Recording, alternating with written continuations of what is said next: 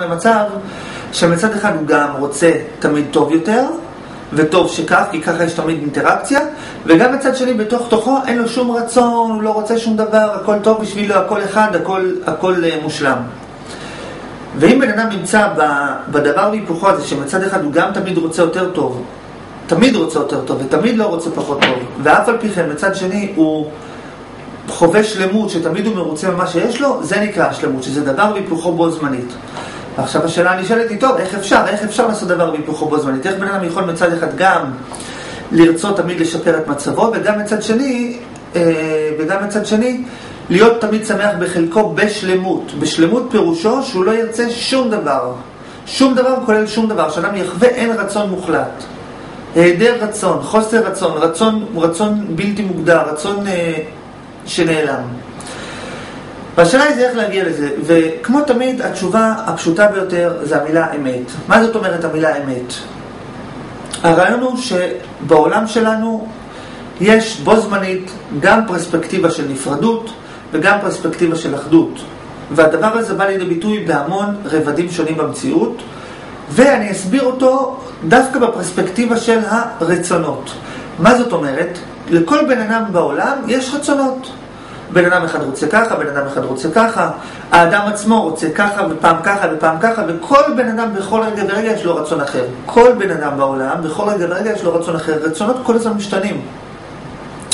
אבל מי שיתבונן על הרצונות של בני האדם יראה שלמרות שהרצונות של בני האדם שונים, אף על פי כן, ככל שאנחנו מסתכלים יותר פנימה על הרצונות האלה, הרצונות האלה יותר מתאחדים. זאת אומרת, אם אנחנו נסתכל נגיד פנימה, אנחנו נראה, נגיד לדוגמה, הרבה בני אדם רוצים לעבוד, כל אחד רוצה לעבוד במקום אחר, אבל כולם רוצים להתפרנס. זאת אומרת, ככל שאנחנו הסתכלנו פנימה על השורש של הרצון, בעצם הגענו לרצון זהה. אם נסתכל פנימה על כל הרצונות של כל בני אדם, בעצם נראה שכולם רוצים להרגיש טוב. עכשיו, מה זאת אומרת להסתכל על השורש של הרצון? להסתכל על השורש של הרצון זה יותר פשוט ממה שנדמה. בן אדם לוקח רצון כלשהו ושואל את עצמו למה אני רוצה את הרצון הזה, מה הסיבה שבגללה אני רוצה את הרצון הזה. בן אדם לוקח כל רצון שלו ושואל, מה הסיבה שבגללה אני רוצה את הרצון הזה? מה הסיבה? למה? למה אני, הרי אני רוצה את הרצון הזה, נכון? כמו שאני רוצה אותו, אני יכולתי גם לא לרצות אותו. אז למה אני רוצה אותו? מה הסיבה שבגללה אני רוצה את הרצון הזה? למה לא אחרת? ובן אדם צריך לשאול את עצמו תמיד על כל הרצונות שלו, למה אני רוצה ככה ולא אחרת? כל רצון, בן אדם אסור לו לקבל שום דבר כמובן מאליו, שום רצון.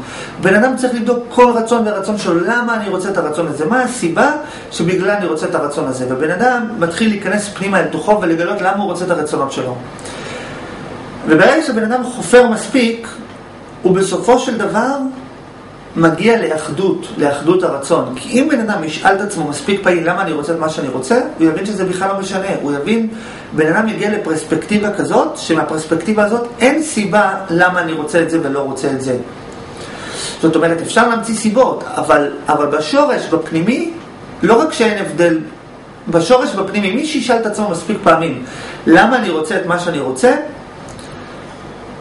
וינסה לגלות לא רק למה הוא רוצה את מה שהוא רוצה, אלא מאיפה נובע הרצון הראשון שגורם לו לרצות את מה שהוא רוצה. זאת אומרת, בן אדם יכול להגיע למסקנה שהוא רוצה את מה שהוא רוצה בגלל שיש מישהו שגורם לו לרצות את מה שהוא רוצה, נניח. אבל זה עדיין לא נקרא שהבנת למה אתה רוצה את הרצונות שלך, כי להבין למה אתה רוצה את הרצונות שלך פירושו להבין, אוקיי, ולמה ההוא שרוצה שאני ארצה את מה שאני רוצה, למה הוא רוצה את מה שהוא רוצה? מאיפה בא הרצון הראשון? מה הכוח הראשון שמניע את כל התהליכים? כשאני אומר שבן אדם צריך לגלות את שורש הרצון שלו, הכוונה שבן אדם צריך לגלות מהו הרצון הראשון, או הכוח הראשון, או הסיבה הראשונה שמניעה את כל התהליכים. ומי שיעשה את זה מספיק לעומק וישאל את עצמו, מה הסיבה? למה זה ככה ולא אחרת? למה אני רוצה ככה ולא אחרת? ולמה זה ככה ולא אחרת?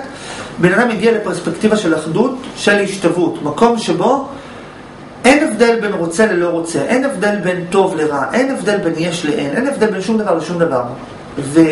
והפרספקטיבה הזאת של האחדות, היא נמצאת תמיד בו זמנית במקביל לפרספקטיבה של הנפרדות. זאת אומרת, יש את הפרספקטיבה של הנפרדות שבה האדם רוצה ולא רוצה ורוצה את זה ולא רוצה את זה וכל רגע האדם רוצה משהו אחר וכל אחד רוצה משהו אחר וכולי וכולי ויש רצונות מנוגדים.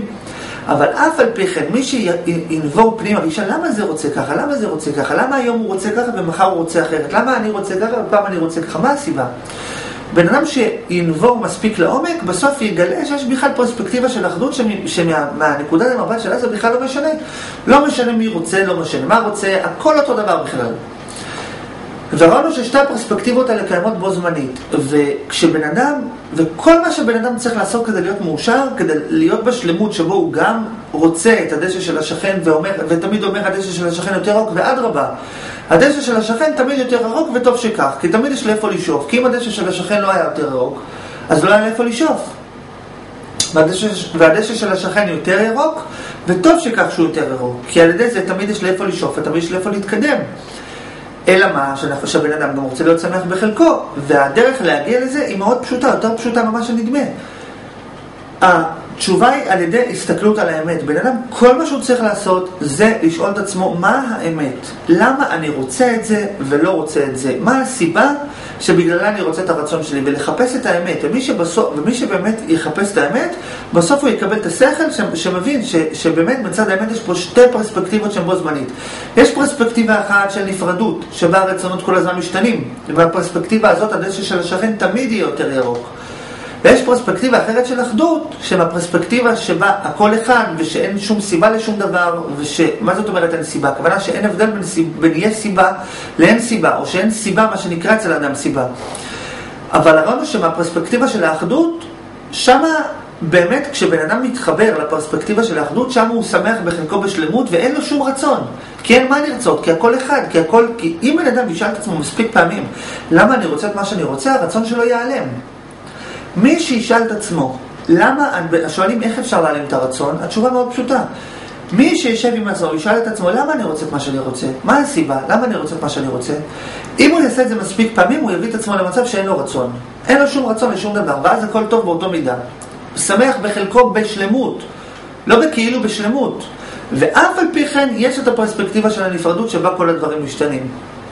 ונסכם את העניין, הנושא מאוד פשוט. כולם כל הזמן מסתכלים על הדשא של השכן וטוב שכך, כי כל פעולה ופעולה שאדם עושה, זה נקרא להסתכל על הדשא של השכן, כי הוא תמיד חושב שפעולה תהיה יותר טובה. מצד שני, האדם גם רוצה להיות שמח בחלקו, והדרך לאזן בין הכוחות האלה, זה על ידי שבן אדם מבין שיש את הנפרדות בעולם שלנו, שבו כל הדברים שונים זה מזה, ומבין שיש גם את הפרספקטיבה של האחדות, שבו הכל אחד תמיד. ברגע שבן אדם מחבר את שתי הפרספקטיבות האלה, על ידי זה הוא מצליח להגיע לאיזון רגשי שבו הוא גם תמיד רוצה, גם תמיד רוצה לשפר את מצבו וגם אף פעם לא רוצה שיהיה מצבו פחות טוב, דהיינו הנפרדות של הרצונות שכל הזמן משתנים, ובו זמנית הוא גם כן חווה את השלמות שבו הכל אחד והכל טוב, בדיוק כפי שבמציאות יש את, יש את שני הכוחות האלה בו זמנית. ושיהיה לכולם יום של דשאים ירוקים. תודה.